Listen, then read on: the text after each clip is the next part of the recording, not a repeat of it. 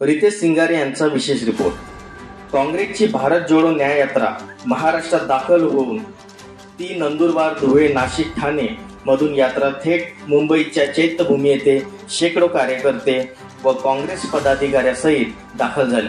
राहुल गांधी व प्रियंका गांधी यांनी चैत्यभूमी येथे डॉक्टर बाबासाहेब आंबेडकर यांना अभिवादन केले व पुष्प अर्पण करून चैत्यस्तंभाला सुद्धा अभिवादन करून राहुल गांधी यांच्या हस्ते डॉक्टर बाबासाहेब आंबेडकरांनी देशाला बहाल केलेल्या भारतीय संविधानाचे वाचन करण्यात आले. यावेळेस काँग्रेसचे प- केंद्रातील पदाधिकारी व राज्यातील पदाधिकारी उपस्थित होते.